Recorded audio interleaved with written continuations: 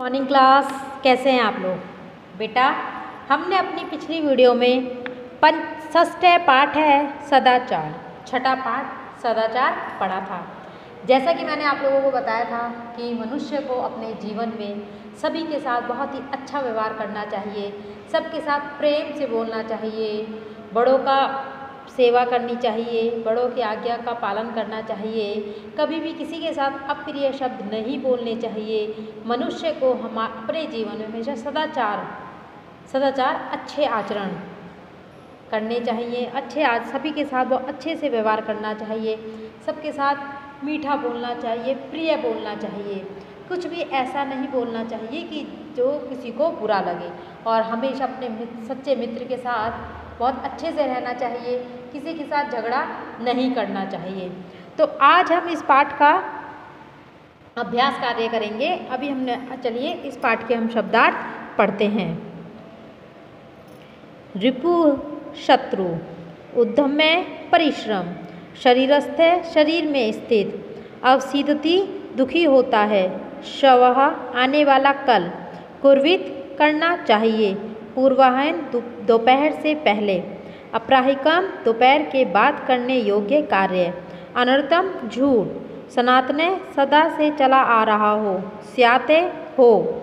औदार्यम उदारता, रिजुता सरलता, मृदुता कोमलता, कौटिल्यम कुटिलता टेढ़ापन। सेवेत सेवा करनी चाहिए, परिवर्जित बचना चाहिए, वाचा वाणी से। अब इसका अभ्यास कार्य करते हैं।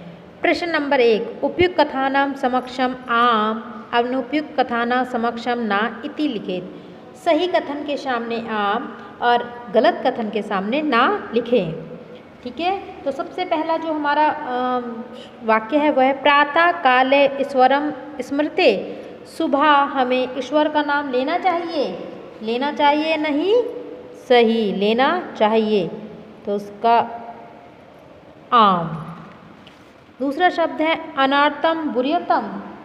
क्या हमें झूठ बोलना चाहिए? नहीं, हमें झूठ नहीं बोलना चाहिए। इसके लिए हम लिखेंगे ना। तीसरा है, मन सा श्रेष्ठ जना सेवते। मन से श्रेष्ठ लोग बड़े लोगों की सेवा करनी चाहिए? यस आम।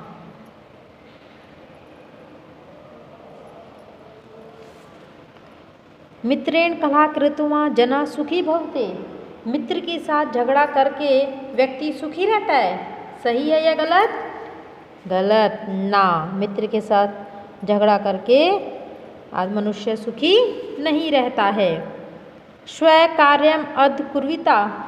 कल आने वाला कार्य हमें, कल करने वाला कार्य हमें आज कर लेना चाहिए। सही।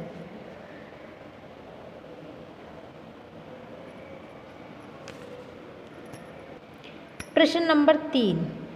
एक पदेन उत्तर मतलब एक पद में उत्तर दीजिए वन वर्ड आंसर ठीक है? पहला क्वेश्चन हमारा, का ना प्रतीक्षते? कौन किसी की परीक्षा नहीं करता है, करती है या करता है? कौन है जो किसी चीज़ की भी प्रतीक्षा नहीं करती है? आंसर है मृत्यु। मृत्यु कभी भी किसी का नहीं करती है। सत्यता कदा व्यवहार से आते? हमें कैसा व्यवहार करना चाहिए सबके साथ? सत्य के कैसा बोलना चाहिए सबके साथ? मृदुता, मीठा।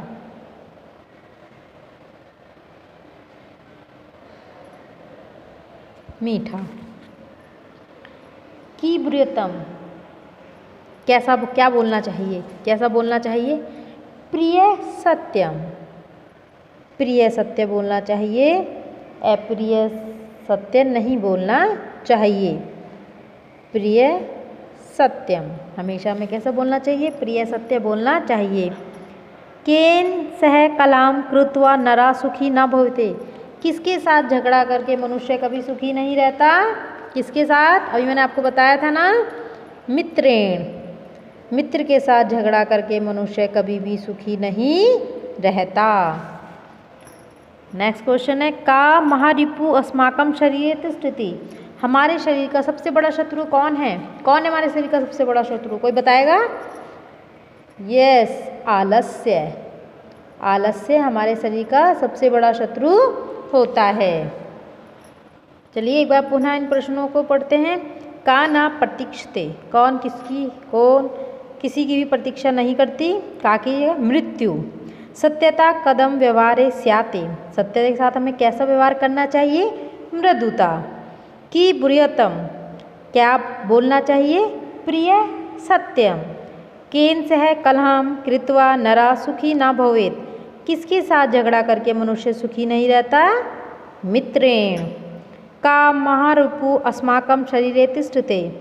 हमारे शरीर में सबसे बड़ा हमारा शत्रु क्या है? आलस्य प्रश्न नंबर चार, रेखांकित पदानी आदित्य प्रश्न निर्माण करोते रेखांकित किए गए पदों से प्रश्नों का निर्माण करें। जैसा कि आप लोग जानते हैं कि कैसे हमें प्रश्नों का निर्माण करना है। पहला है, मृत्यु ना प्रतीक्षते। तो मृत्यु की जगह हम क्या इस्तेमाल करेंगे? का। प्रश्न बनाएँगे ना तो ये हो जाएगा, क ना प्रतीक्षते। कलहाम कृत्वा नरा दुखी भवते। कलहाम की जगह? किम?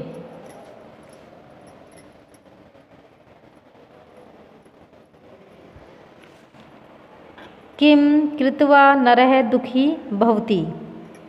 पित्रम कर्मणा सेवेत। उसकी जगह आ जाएगा पित्र काम।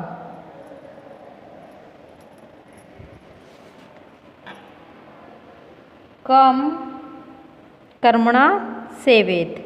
व्यवहारे मृदुता श्रेयसी। इसमें आ जाएगा का। व्यवहारे का श्रेयसी। सर्वदा व्यवहारे ऋजुता विधेया। तो सर्वदा की जगह कदा। कदा व्यवहारे रुजुता विधेया। नेक्स्ट क्वेश्चन है। प्रश्न मध्य त्रीणी क्रियापदानी संति। तानी, प्रयुज्य, सार्थ, वाक्यानि रचेते। अर्थात, बीच में ये तीन क्रियापद दिए हुए हैं। इनके द्वारा आपको सार्थक वाक्य का वाक्य बनाने हैं, ठीक है? तो चलिए हम वाक्य बनाते हैं। पहला वाक्य हम बनाएँगे जो, वो है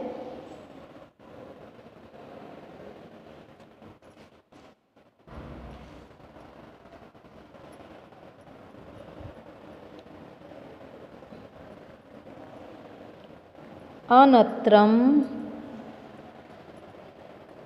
प्रिय च न बुरियात। ठीक है? दूसरा बनाते हैं हम। मनसा मात्रम पित्रम चा सेवेत। उसके बाद नेक्स्ट है। सत्यम, प्रियम, च, बुरियत। उसके बाद नेक्स्ट है। वाचा, गुरु सेवेत।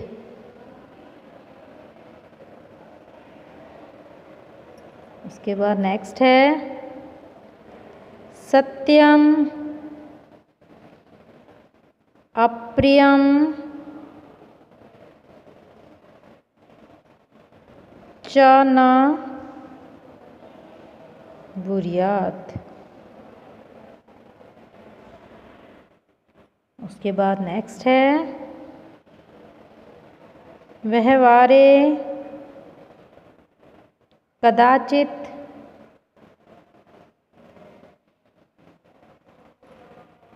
कौटिल्य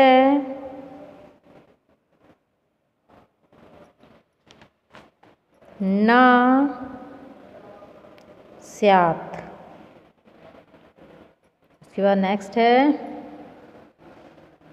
श्रेष्ठ जन्म कर्मणा सेवेत। उसके बाद नेक्स्ट है। व्यवहारे सर्वदा औदर्य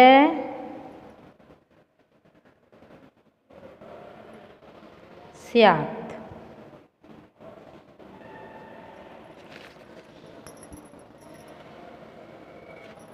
उसके बाद नेक्स्ट क्वेश्चन है। मंजूषात अवयव पदानी चितवा रिक्त स्थान पूरे थे। दिए गए अवयव पदों से रिक्त स्थानों की पूर्ति करें। तो पहला है हमारा, भक्त डैश ईश्वरम स्मृति। तो भक्त सदा।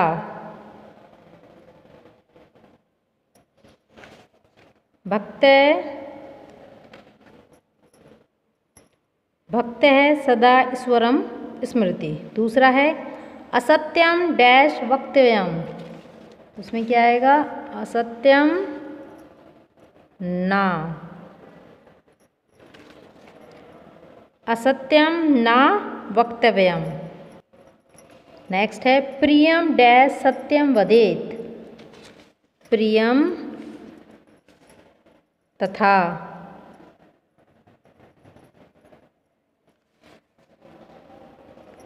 उसके बाद नेक्स्ट है, लता मेधा डैश विद्यालय गच्छते। लता मेधा चा। चा का मतलब होता है और। उसके बाद नेक्स्ट है, डैश कुशली भवान। तो उसमें आ जाएगा अपी। अपी कुशली भवान। उसके बाद नेक्स्ट है, महात्मा गांधी, डैश अहिसम ना अत जयते। तो इसमें आएगा कदाचन।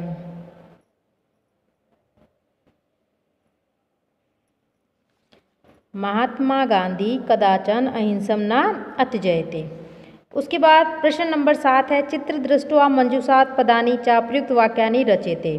चित्र को देखकर दिए गए शब्दों के द्वारा वाक्यों का निर्माण करें, ठीक है?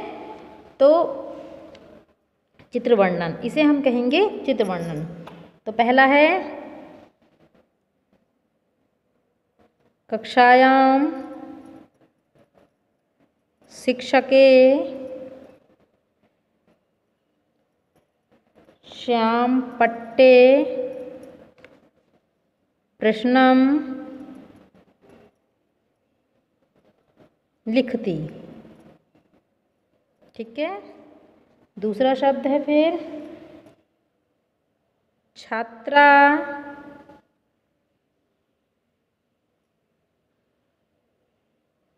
पुस्तिकायाम उत्तराणी। लिखन्ति उसके बाद है नेक्स्ट ते। श्याम पट्टे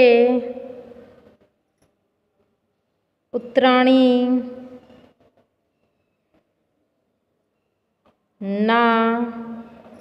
लिखन्ति उसके बाद है स। पुस्तिकायां प्रश्नम न लिखती। बच्चों, आशा है आप लोगों को ये पाठ भली बात समझ में आ गया होगा। यह कार्य आपको अपनी उत्तर पुस्तिका में बहुत ही साफ़ और सुंदर अक्षरों में करना है। अपना काम प्रॉपर वे में करें, सही तरीके में करें। और एक बात का ध्यान रखें कि जब आपकी उत्तर पुस्तिका यहाँ पर जाँच के लिए चेकिंग के लिए आएँगी तो उस बीच में आपको यह कार्य पिन पेज में करना है और बाद में अपनी उत्तर पुस्तिका में इसे चिपका देना है। जूम गूगल मीट अटेंड कीजिए, अपना काम टाइम पर सबमिट कीजिए, जमा कीजिए और काम कार्य बहुत सही तरीके से करें और सही ढंग से करें।